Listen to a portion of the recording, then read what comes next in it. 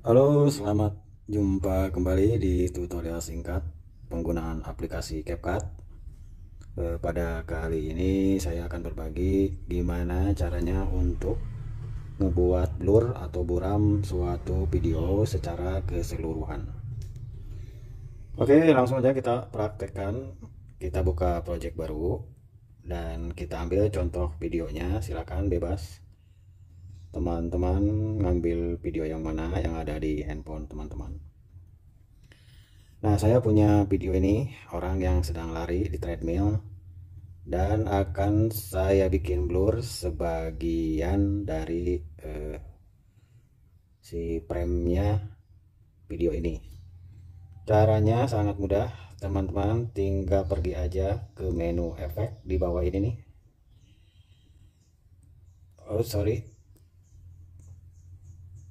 cari menu efek nih yang gambar bintang, tinggal diklik aja. Terus pilih yang namanya efek video. Nah, di sini sangat banyak sekali ya pilihannya. Semakin lama si CapCut update fitur-fitur baru. Nah, yang kita pilih adalah pilihan menu dasar. Dan di sini masih banyak pilihan lagi. E, menu blurnya. Nah, kita pilih yang namanya sebentar ini kan terlalu banyak ya pilihan blurnya. Nah kita pilih ini yang namanya tertutup kabur. Karena menu si CapCutnya pakai bahasa Indonesia jadi agak sedikit aneh ya namanya tertutup kabur. Nah untuk men-settingnya tinggal diklik sekali lagi. Nah di sini ada dua pilihan kecepatan sama tingkat blurnya.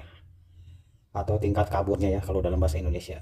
Agak sedikit aneh ya namanya tinggal digeser aja sesuai kebutuhan. Nah semakin ke kanan semakin buram ya. Ya misalkan kita posisikan di sini aja nih nggak terlalu buram. Nah segini.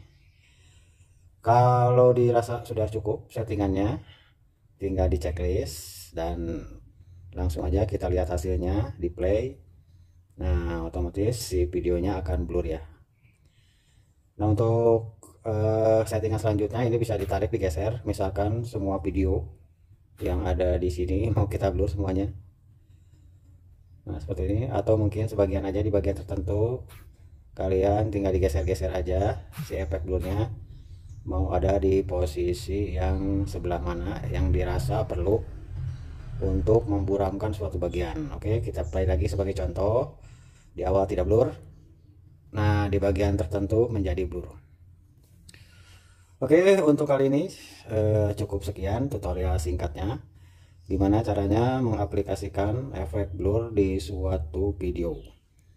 Saksikan video selanjutnya untuk mendapatkan eh, tips dan trik di aplikasi CapCut. Terima kasih sudah menonton.